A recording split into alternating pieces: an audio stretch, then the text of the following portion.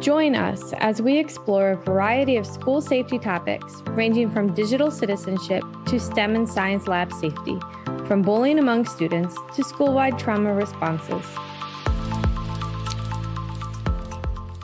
Welcome, everyone. Welcome back to Safer Ed. Today, we'll be examining another aspect of safer schools, and that is school to home communication. Now, to add some dimension to this conversation today, uh, our guest is a recognized thought leader in this area who can better help us understand how to connect schools with families and improve student outcomes and school success through enabling technology and educating the community simultaneously. Big, big uh, accomplishments, but it can be done. Now, joining me today is Dr. Chad Stevens. Dr. Stevens is the Chief Strategy Officer at ParentSquare, where he is charged with creating, communicating, sustaining the company's strategic initiatives. In addition, he advises on all aspects of company operations and expanding ParentSquare's relationships with school districts across the entire United States, supplying, in, supplying insight and driving execution. Now, I want to talk a little bit about Chad's background because it is really, really impressive. Chad led the K 12 education vertical at Amazon Web Services and was the chief strategist at CDW and a senior K 20 consultant at Dell. Now, not only did he do that, he was a successful 14 year educator where he started as a teacher, then assistant principal, principal, director of IT, and then the chief technology officer at the school district. And today, Chad still maintains his superintendent certification in the state of Texas. Chad is a current member of the CoSN Board of Directors and the board chair of the Indian Prairie Educational Foundation. He was recently named one of the top 100 influencers in EdTech by EdTech Digest, and he has spoken and written extensively over the past decade on the, here's the word, intelligent use and adoption of technology in schools. He has a Bachelor of Science from Tarleton State University, a Master of Science in Educational Management from the University of Houston, Clear Lake, and a Doctorate of Philosophy in Educational Administration from Texas A&M, College Station, Texas. Welcome to Safer Ed, Dr. Stevens. Yeah, thanks for having me. It's awesome to be here. I am delighted. I'm tickled pink that you're here and you could spend some time and join us today. Our global audience has many questions surrounding the safety and security of schools. And I think that you're just an absolute wonderful individual to shed some light on this important aspect of education. Now, let's start off a little bit today by talking a little bit about what communication looks like in today's, I dare say, traditional school mm-hmm. environment. Yeah, I mean, you know, tr- communication in today's school environment is really complex, right? I, mean, I think you you said air quotes tra- traditional. I'm, I do not know if there is a, a traditional environment, right? So you have, you know, you have parents that, um, you know, traditionally may you know have been going to work and now they're working from home. You have kids that you know are going to school um, remotely. You have kids that are in in in physical school. There, there's just there's just a lot of things, and right. so when we think about it um, you know, parents in a lot of ways are like, in some ways, don't have a lot of information, but often and also may also feel inundated with information. And so, you know, right. trying to figure the, the the happy medium between those two is is really tough. So, as a as a parent myself and as a, a an educator, I can say safely that communication from school to home was largely one way and 100%. there was a whole lot there was a whole lot of hope involved that if you sent something home with students you hoped that it would get there. And as a parent you hoped that your student your your your children would give you whatever the school put in their backpacks or sent home with you. Is that is that a fair statement? That's, yeah it's very fair. I mean i think you know one of the things we talked about a little bit before the the show was you know what are some common challenges? And you know i think about things like you know actually measuring what you're doing. Um you know i think you know oftentimes you'll hear a, a, a school say our our families are really engaged.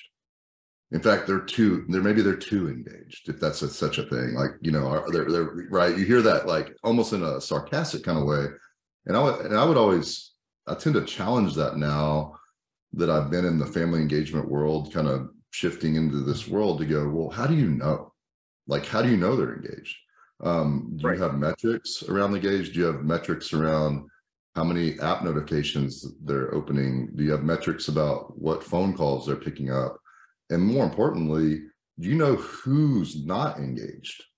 Um, right. and i think um, we we tend to for many many years when when it was one way we sent out messages and, and said well we sent out x amount of thousand messages so they're sent we're good and now we're in a world where you know the way people engage with that content um, in all walks of life outside of education is is well measured, right? You can tell that, you know, the Absolutely. way you interact with marketing and things like that.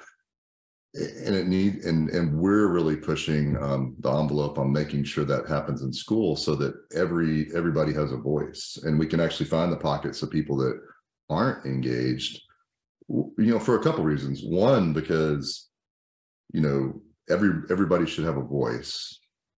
But Agreed. two that voice um could could enrich the district right? So like if you have this other group that's not involved like what are what are we missing from a equity lens and from an engagement lens that makes the school a more you know getting to the point of of what you do on this this broadcast is really a trusted safe place where everybody feels welcome and and can kind of speak right. open and feel good about it. So yeah there's there's a lot going on there. So if i unpack that a little bit how would having a unified means of communication help a district either save money or or on those reporting analytics that you talked about? How beneficial is that to a school hmm. district? I mean i think I, I, I mean there's definitely there's a cost right? I mean there's a there, there's a cost but I, I think it goes beyond that. So you know there's really like if you if you go out online and, and start to research like the term family engagement or you know there, there's 50 years of research from some of the, you know, Columbia, Harvard, you name all the universities that say um, when, you know, when when families are engaged, when parents are engaged, they do kids do better in school. They go to school. They have better attendance. Right. Um, they have better mental health. Like the, I mean, the the research is really littered with with that example. But you know, you think about you know, I asked somebody the other day, how much money have we spent on family engagement in schools and really being good at it versus testing? Like it's it's not even close, right? But there's all this research that says really engaged families, kids do better in school, but we really don't have ways to measure it. On the on the flip side, yeah, I mean, when you you know we have we have schools and you don't talk too much about ParentSquare but like a, a couple of examples like we have a large you know cherokee county school district in georgia um, you know moved everything into ParentSquare they start to send things out um, in a streamlined time of way something as simple as delivering your code of conduct delivering your student handbook um, right. um, digitally and knowing that you sent it out and that you can confirm that everybody's got it and it wasn't just a, a send right. out they've saved over a hundred thousand dollars a year, one hundred thirty thousand dollars a year hard cost of just um, not having to print those out, and right. they know people got them. And so, you know, I think that's that's really cool. But to me, the the the bigger piece is um, that that idea that our tool is getting more kids in school, making people more comfortable about coming to school, developing trust, like it's almost like there is a there is a dollar sign there somewhere right because average weighted daily attendance and all that stuff but it's it's bigger than that and so of course when you take a bunch of disparate things and you put it into one you're only paying for one thing which is nice. Right. But um i think it's bigger than that because it's also about the parent experience uh, the, the parents having which increases their engagement and their trust um, right. makes make, makes people feel safe. So it's hard to put. And I think that I think that's the profound key right there is that comfortableness, that safety that comes along with having an open communication forum or, or a highway, however you want to want to frame that. Exactly. That's uh, that is powerful. Thank you for sharing that, Dr. Stevens. Yeah, for sure. Now I'm I'm going to wear my my parent hat for a moment and ask a question from the parent side. I I think oftentimes that many school districts are viewed as these giant giant gargantuan government bodies, okay? When in fact they're just actually they're made up of people like us, like you and I. Hundred percent. Um, I, I, I would love to hear some of your advice for some actionable communication strategies that could help to humanize your district and build ambassadors of your students and your family and of course that whole community. I would Yeah. really, really appreciate that. Yeah, it's really interesting because um, you know, you know, I came from being a principal. So before all this communication stuff, just like grounding in what I think is like best practice or or being a, a good human, maybe. You know, when I was a principal, I, I quickly went from principal where you're very human and and hey, Dr. Stevens, I was an elementary principal and kids coming into the school and parents knew who I was and you know, you're really building a community when you're a principal. And I became the chief technology officer over the course of uh, two to three months. It happened very quickly. Um, uh, and you, and then you went into this place where wonderful people, but they sat in a cubicle, they typed on their keyboard, and they did amazing things for kids. But there wasn't a lot of connectivity between, in my mind, between the kids and them and you know Right. and so we we did all so so we did things like we'd bring some kids over to the tech building or we would you know uh, it's easter this weekend we tied a hundred easter eggs there we we brought you know we did things that got to see kids a lot so i, I agree with you like most uh, most parents when they hear the word district there's no face to that district it's just you're right it's this giant it, and, and, and quite frankly, and and not you know in today's political climate, and that's as much far that's the last time I'll say pol- political anything. It, it, it can it can be it can be like a very negative thing, and so we actually just did a webinar um, with Fresno Unified, which is a really big school district in California, and their public information officer had a quote in there. I, I listened to it um, again this morning. She said the word district doesn't usually conjure up warm fuzzy feelings rather the opposite a div- in a divisive times being seen as a faceless nameless bureaucracy makes our school districts an easy focus for community frustration so i was like wow Very well framed. That's that's impressive. so i was like so that that's one thing and so i think we're going to be doing some more work on this Right. but so a couple of tips that they had that i thought were really interesting is um every single communication that you send out needs to have faces and names so Okay. you don't you don't send out an, a, a communication that says well this is from the public information office or this is from the office of the superintendent nobody knows who that is the superintendent um, he or she is a real person with That's a real right. Who might may or may not have kids that has you know that has a story. And so the more faces and names that you put into the communication it helps and lends itself to building trust and relationships and really like personalizing things. And so Right. another thing they they really talked about i thought was really interesting is you know being out in the community. And so even as the public information officer you know going out to an event in the community and a parent going oh you're you're you're you're mrs haley that sends us the emails. Your name was on it. Now it's a face. Right. you're a Then you have that connection.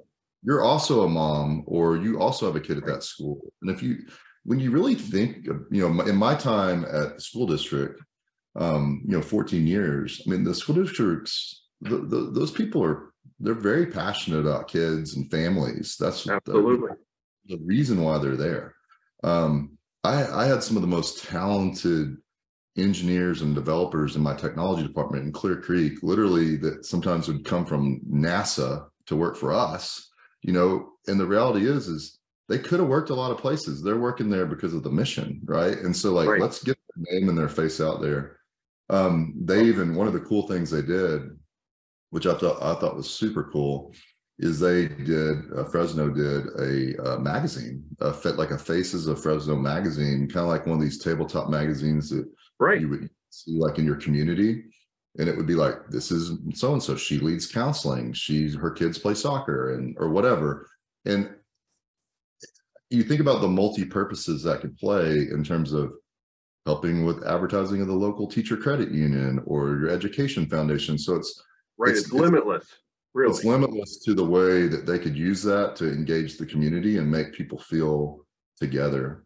Um, the other piece of advice I'd say is, um, and, and I think this goes for safety too, and I can kind of go into safety a little bit, is be consistent.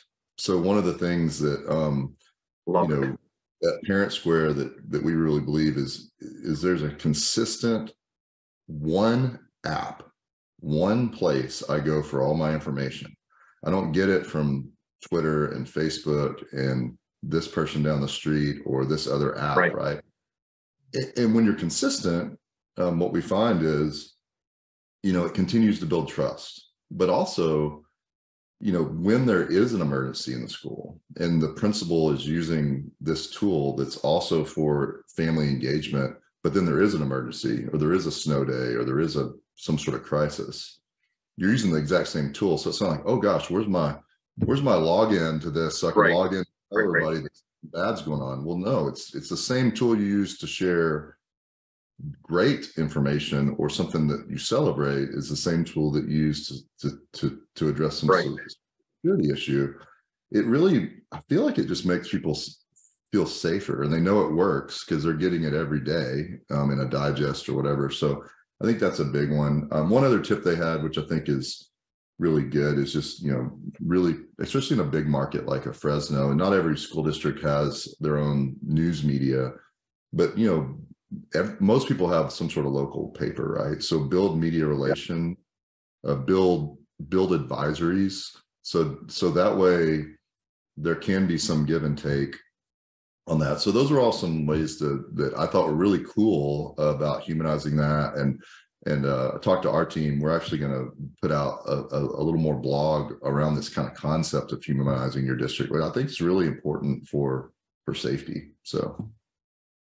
Well, that is uh, very personal and profound. And I can see that the intent of having nameless, faceless entities start to personalize that can have huge benefits within the school ecosystem, but also, as you say, across the entire community. Just expanded out all those networks. And if you think about it, you know, there was always like this, you know, again, I've lived this, right? Like I've been the principal Absolutely. that the kid sees in the grocery store. And I and I, I used to I used to joke like um I thought the kids, I think like when you're in kindergarten, you think that Dr. Stevens like lives at the school, right? Like he doesn't go to the grocery store. Like Right. they just bring like the, the the lunch ladies bring me my meatloaf every day. I stay there, right? So it freaks them out, but like I, I think it's a really big deal. Um, you know, and I try and I think a lot of administrators do this. So this isn't really about me, but like, you know, I went to little league games when I was a principal and I would go watch their football games or I would go watch them sing in the choir when they when they went to do these things. And I would try to try to be part of the community. Then when something went wrong, which it's going to, it's a school of a thousand kids, like something's Right. going to go wrong. Actually, they trusted me because they knew I was a, a good person that really cared about their kids. And so I just I think I think you can replicate that at the district level if you're using the right type of measurements and tools to, to do it. And you know, I will just say like having moved from a real uh, technically focused job at Amazon Web Services, building out cloud infrastructure, which amazing group of people, um, the the tech leaders in schools. But learning about these public information officers and communications, they are like the some of them the school public relations association, some of the most amazing people I've met. And Right.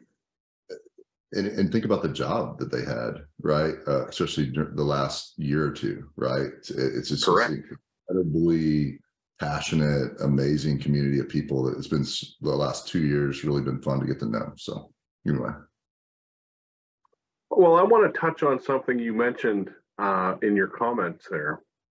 Is there anything specific that our listeners should be, I don't want to necessarily say concerned about, but I can't think of a better word, uh, beyond FERPA and COPPA and other K 12 standards in terms of security and privacy?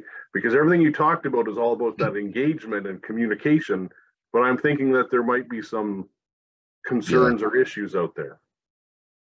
Yeah, I mean, security and privacy are really interesting topics. Um, you know, I think they're, you know, you can't have security without privacy. You can't have privacy without security. But um, right. people use security and privacy or privacy and security kind of synonymously, and I look at them more like a a, a yin and a yang. And so um, I think one, you know, it is the responsibility of the school district to make sure that no matter where they're sharing data, right, you're going to have to share some data to make certain tools work, um, whether that's an ed tech vendor or community partner, that that their data doesn't go beyond, right? So they have to be they have to ask those questions and make sure that they're thinking about that. Most, you know, most folks like us, um, you know, us parents, where spend a, an, an, a ton of time, you know, caring and, and really being uh, nurturers of the the right thing to do with the data. But there are right. certainly um, there can be issues, right? So, you know, I would say that when you think about security, you could have a very secure system as a school district, but um, you could also be have a secure system that within that secure system misuses data right? Um, right. which that means you're not really maintaining privacy. Um, and so you have to be careful uh, that could be as simple as a school district you know sending an email like they could have a lockdown system that nobody else can get into and then a teacher sends uh, personally identified information over email to somebody and all of a sudden you know it's out there. So right. I, I, think um i think there should be concerns to ask and i think I, I think it leans more into like what you ask before you buy things and an evaluation. So that that's the way i look at it so Okay, well then, from a from a, a security or a cyber security yeah. perspective, from yes. from from from your side of it, what questions should be asked when evaluating a technology platform for a district? Yeah, so so a, a couple things I think are really interesting. So like when when I was a CTO, um, you know, I used to think about things like um, always there's three things, right? There's people, there's process, and there's technology. Right. Exactly. Actually, the technology is what everybody focuses on, but it's actually probably the easiest part. The people and the process part are the hardest, right? So, um, similar to what you do in your school district, um, I think you need to ask questions of, of vendors about their people and their processes, their certifications, how they handle things. What do they do if there is something that goes wrong, which is just right. as important about communication um, than anything else. Um, you know, you mentioned that I'm on the board of CoSN, and I would I would really, you know, we spent time as a board thinking about yeah it's two sides right there's there's three corporate board members and there's there's several other school board members like for us as a as a ed tech we'd rather have standardization because if right. you think about it i've got you know um 2200 school districts that are current clients or something like that um you know serving over 7 million kids.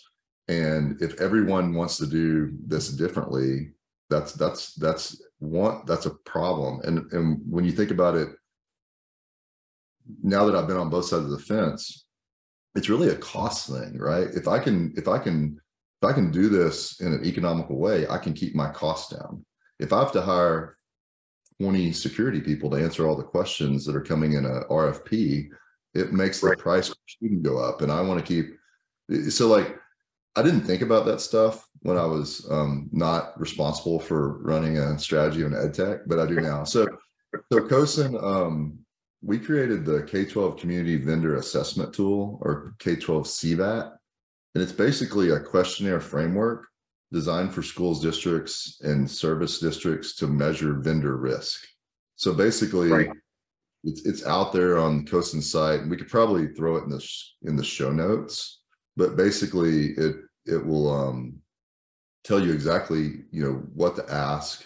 It, it it provides some sort of standardization, and and the the reason was um, this exists in higher ed, and so in higher ed there is one of these. Um, right. It's very uh, it's very standard, and you know basically most of the RPs we would see in higher ed I do a little higher ed stuff at um, you know AWS and CDW and Dell. You know, it was just like, did you meet? Do you can you check this box? So we're not there yet, but we're trying to. A lot of states, like I live in Illinois now, have some very specific laws that um, you know are are going to protect this that are designed to protect the school district. So I just think you need to ask the question, and uh, you know the advice I would give would be, you know, you know our our team, our security team, we have a vice president of security and compliance, our CEO, um, we myself, like we'll get on a call and talk to we'll talk security all day long um you know um, we've That's got wonderful. you know high level security professionals on our team but we also have um you know we have a ParentSquare advisory council we have the chairman of CoSN's cybersecurity committee is on our advisory council um you know um the uh the founders of the student data privacy consortium the co-founder is on our advisory council so we're actually asking them um, also proactively, like, like, okay, this great. happened. We position ourselves as very secure because we do handle a lot of information. You know, like communication is a big deal, and uh, and to get it done right, you have to. You're working with not just the student, um, but you know your parents and guardians, and and we're so we want to make sure we're doing that. So I, I would just you know make sure to ask but you know lean on lean on orgs like CoSN to to get the right information out so well i think you are definitely on the right track uh, chad with trying to consolidate and and bring some consistency and some cohesiveness to that entire marketplace because ultimately it only makes schools safer and more secure for everyone so yeah. I, I, I, impl- I applaud you for that. That's excellent. And just, I would just add also, like, you know, think about a startup ed tech. Like maybe there's a startup ed tech that has a fantastic idea, right? But right. if they can't get past the fact that they don't understand how to be secure or know exactly what they're going to ask, they could right. go out of business, right? And then that ends up being something that schools never get you know maybe there's this really good idea and so i think making it easier for ed techs not easier you're not lowering the bar but making it easier to understand the bar like right. what are the permissions to play in this space from a safety standpoint is a big deal because um you know it's going to allow more creativity and innovation into the field which is really what ed tech you know should be about right, right. It's, it's trying to help schools you know so anyway just add that. Exactly. Now, Chad, I understand uh, I, I, this might be oversharing, but I understand that uh, you're going to be the keynote speaker at one of the best school communication conferences this June coming up in Durant, Oklahoma. Is it possible maybe you could share a little glimpse of what you'll be discussing there? Yeah, um, we're really excited. So we um, will be at GabCon um, in June. Um, back in November, um, ParentSquare acquired Gabbart Communications, and we've we didn't really talk much about that here, um, given the topic, but um, which allowed us to to um, launch ParentSquare Smart Sites, which is our website product. Um, and I, I, won't go too much into detail, but we're really excited about um, disrupting the website market, similar to the way we disrupted the communication market. So there's a lot of exciting things. So yeah, um, this is an interesting question because I've been so busy traveling and talking to people like you that I haven't really thought too much about what I was going to talk about um, until you asked me this question.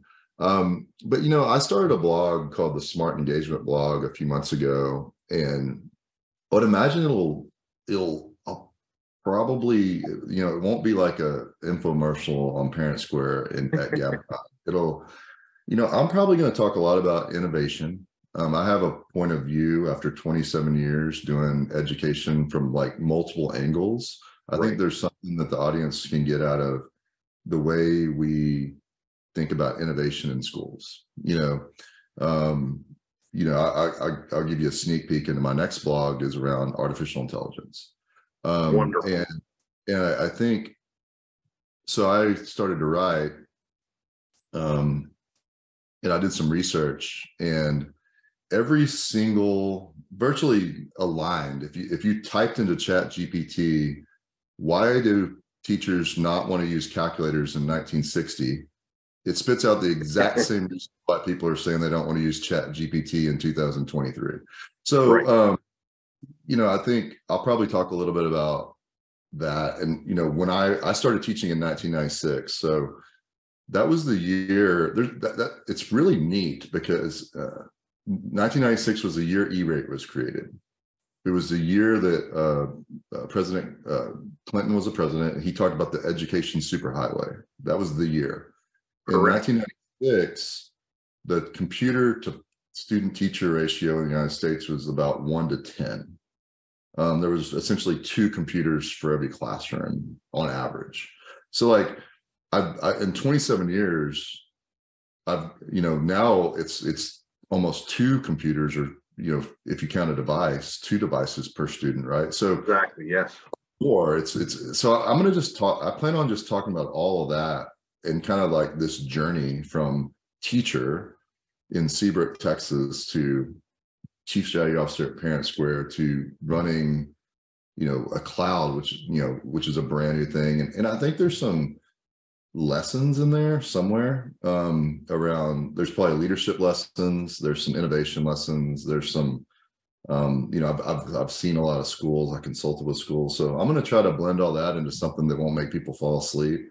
Um, uh, it's been a it's been a while since I've done a a, a big keynote like that. Um, because I've been I've kind of been a, a, builder of businesses in my last few roles, and not so much of the spokesperson that I'm doing for ParentSquare. So yeah, uh, it'll be good. It'll probably follow along with the the blog I've been doing because the blog's really making me think about getting back to the introduction, the intelligent use of all this stuff, and I think Correct. that's really AI comes down to is, um, you know, there's a lot of ways that you can like uh, I'm already I'm using it almost every day in stuff that's make that, that's making me making my job easier. You know, and, and it, it's not rocket science. Like I had ChatGPT, I didn't really feel like writing my out of office. I've been out of the office for two weeks between spring break and uh, internal meetings, and I just typed in and said, "ChatGPT, I'm gonna be write me an out of office email." and it was beautiful. And I just copied it in. There's one less thing I had to think about because I don't have time to think about items. So I'll probably be think, talking about stuff like that and, and stories that I've seen. It's been a it's been a pretty pretty amazing career the last 27 years. So, but yeah. Well, I'm personally looking forward to some of those takeaways. That's uh, that's always great to hear that you're forward thinking and and willing to share. Now, I conducted some research on my own, and and just you can feel free to stop me, but I'm going to put you on the spot here. I'm going to give you uh, uh, two words: uh, idle hands. and I heard that you were able to cross off something from your bucket list recently. Is is that correct? Yeah, for sure. Yeah. So, do you feel uh, like sharing that? It, it, I know it's a personal one, but if you want to share, I think our listeners would love that. No, it was just a yeah. We uh we were able to we played so the bucket list item was to to play live in austin so um we recently at CoSN had uh our our kind of ParentSquare uh, event and uh, was able to to back up uh, Jason Kyle, who's a, a, singer out of Oklahoma, who who also happens to be married to one of our employees um, there in Durant. Um, so it was, it was really fun, and it, it really was uh, to be honest, it kind of gives you a peek into some of the, uh, I'll, I'll, I'll say innovation. It really was right. spurned from, um, it was going to be pretty expensive to have Jason bring his band down and to save money and, um, it was just easier to like pull together uh, Jay, who's our SVP of sales, and myself to back him up. And we also thought it would be fun. So yeah, it was really cool. I used to I used to play a lot in college and and kind of had some some pseudo um, we had a administrator band back at Clear Creek School District, which was really fun. And so uh, it had been about a decade since I've been on stage, and uh, it was pretty, but it was fun. It was, I think the crowd enjoyed it, and uh, we've actually actually got asked to um, like play some other gigs from that gig. So I don't know if we will. Um, we're, we're, I think that's remarkable. That's amazing. Great. We're contem yeah, some of the people there that had other conferences were like, could you come to our conference? And I'm like, I don't know about that. So we'll see. Um, definitely not quitting the day job. Um, if you heard any of the singing, um, but but uh, but it was fun. So it, it's Very a good, good. So well, as as uh, we're coming to a close here, I'm going to ask you for your final thoughts. And here's the here's my last question for you, Dr. Stevens if you could just magically snap your fingers wow. and make one thing happen across the educational sector, what would that be? What is your big wish? Ooh, man, that's a big one. Um, you know, so I've I've always had this wish that you know, ever since I've been a CTO or that I was a CTO, it was always frustrating to me that schools didn't have the level of technology that that that com- that companies and private companies did. It always seemed to me like we had it all reversed, and that schools should have the greatest, the latest technology. I mean, that was really one of my impetus for going to AWS was would this give more access and equity to the right things to build the right things for schools? And so I just, you know, I really wish that, and I think we're getting there that that every student, all 50 million of them, would be impacted by um, technology in the, in the right way, in the intelligent way to to make them more successful.